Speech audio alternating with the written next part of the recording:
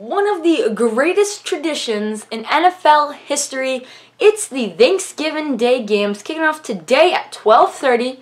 Sit back, relax, and enjoy my Thanksgiving special. We're going to talk about each of the Thanksgiving games today.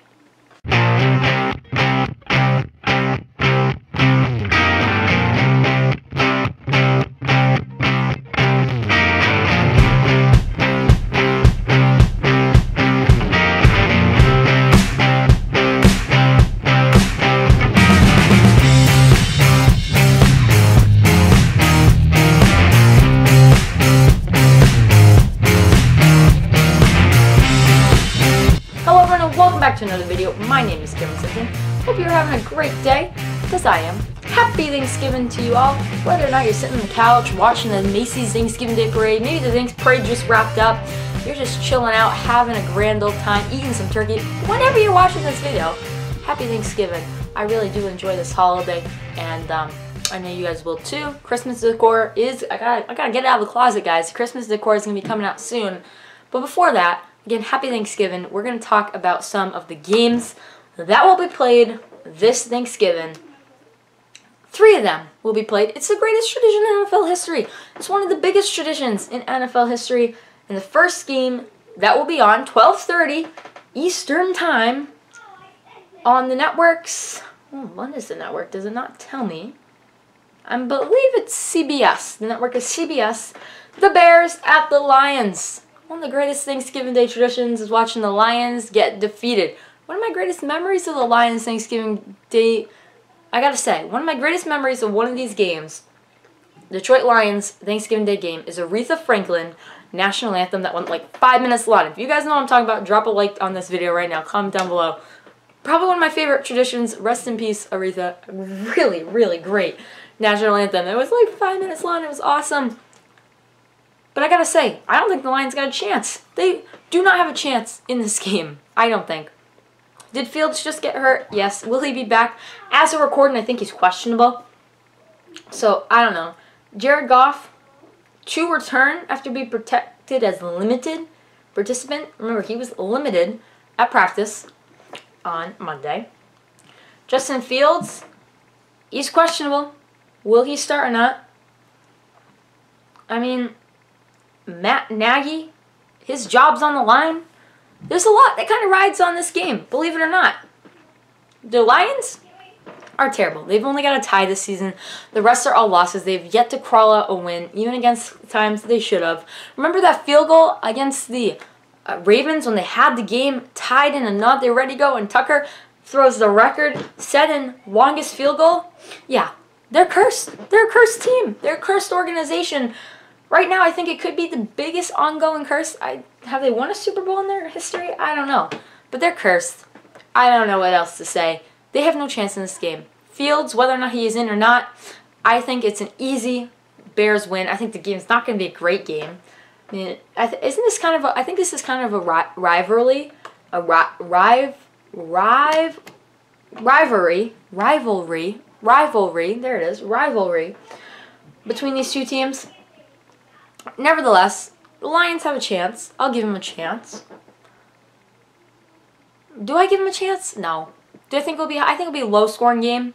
My pick for this one's the Bears. Uh, Bears by Bears by 10 in this one. Bears by 10. Could it be 10 nothing? Yeah, probably. It could be.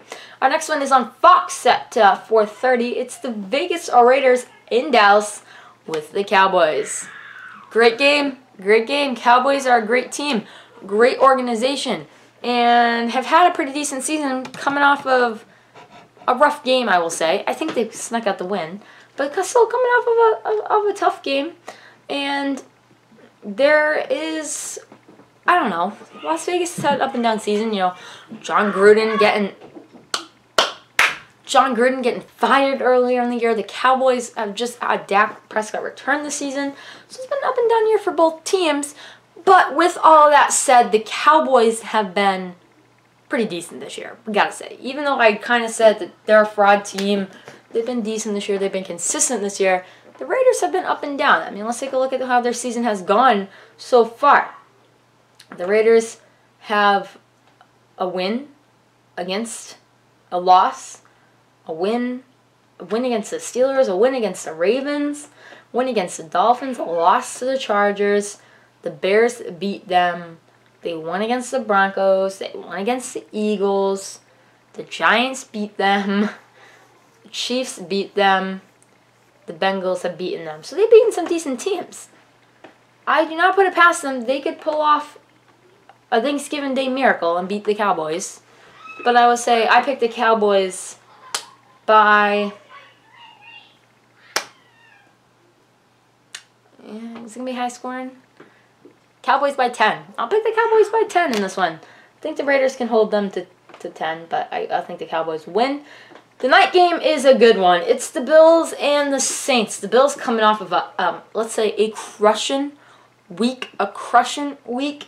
Um, and they are going to look for a rebound. They're going to come out swinging on Thanksgiving. Now, have they have enough time to prepare for the Saints? I don't know. Have the Saints have enough time to prepare for them? Probably. I mean, I think the Bills are going to come out swinging with vengeance. They are going to want to win this game. And the Saints have been an up and down team this year. Consistent at points, down on other points. They haven't really had showing playoff team. They haven't really had that showing of like, yeah, they're a team, they're a threat they're someone you should be watching.